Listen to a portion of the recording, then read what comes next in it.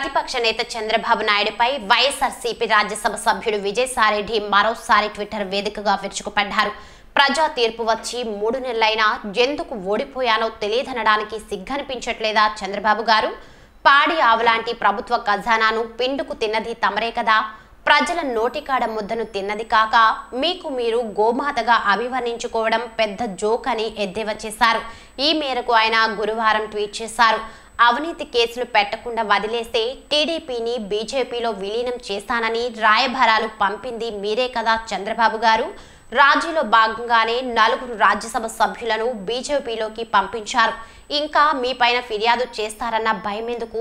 భవిష్యత్ కళ్ళ ముందు కనిపిస్తుందా అంటూ విజయసాయిరెడ్డి విమర్శలు గుప్పించారు. వైఎస్ఆర్ పోలవరానికి అన్ని అనుమతులు తెచ్చి పనులు కూడా ప్రారంభించారని పట్టుదలతో చేస్తే ప్రాజెక్ట్ మూడేళ్ళలో పూర్తయ్యేదని అన్నారు.